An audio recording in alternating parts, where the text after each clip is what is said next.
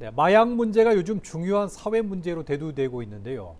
중국에서 불법으로 마약을 들여와 판매하려던 불법 체류자가 구속됐습니다. 네, 국제 택배를 이용해 마약 성분이 들어간 진통제를 비롯해 낙태약 같은 전문 의약품을 불법 유통한 것으로 드러났습니다. 김용원 기자입니다.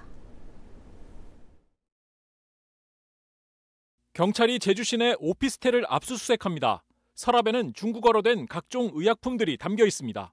중국 국적의 28살 불법 체류자 남성이 중국 현지에서 반입한 것들입니다. 낙태약과 해열제 등 68종의 만정이 넘는 규모로 대부분 병원 처방전 없이는 구매할 수 없는 전문 의약품이었습니다. 이 남성은 마약 성분이 들어간 진통제도 들여와 40정을 만 원에 판매하기도 했습니다. 중국 온라인 채팅방에 약품 사진을 올리면서 필요한 물건들을 찾아다 주겠다며 구매자들을 모은 것으로 드러났습니다. 비자 문제로 의료기관 진료나 방문이 어려운 불법 체류자들이 주요 타깃이었습니다. 경찰은 마약류 관리법과 약사법 위반 혐의로 구속했고 현재 재판이 진행 중입니다.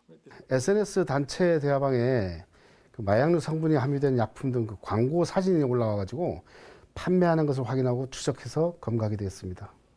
마약과 의약품은 국제 택배를 통해 들여왔습니다. 해외 발송 화물은 세관에서도 적발이 쉽지 않다는 점을 노렸습니다. 필로폰보다 환각 효과가 300배나 높은 LSD가 지난해 9월 제주에서 처음 발견된 것도 미국발 국제 우편을 통해서였습니다. 사건 발생 5개월째인데도 추적에 어려움을 겪고 있습니다.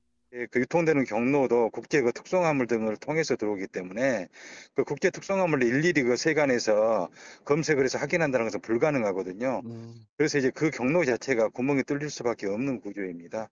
어, 그래서 마약 유통이 훨씬 더 쉬워지고 있는 그런 상황이죠. 텔레그램 같은 SNS를 통한 비대면 거래 수법도 활성화되면서 불특정 다수가 마약 범죄 위험에 더 쉽게 노출되고 있습니다. 지난해 제주에서 검거된 마약 사범은 104명으로 전년보다 2배 이상 늘었습니다. 절반은 20대와 30대의 젊은 층이었고 10대 청소년 2명도 포함되는 등 마약 범죄는 빠르게 지역 사회를 파고들고 있습니다. 마약류 불법 반입과 유통이 기승을 부리면서 마약 사범도 급증하는 가운데 경찰청은 마약 판매와 유통책 검거에 수사력을 집중할 계획입니다. KCTV 뉴스 김용원입니다.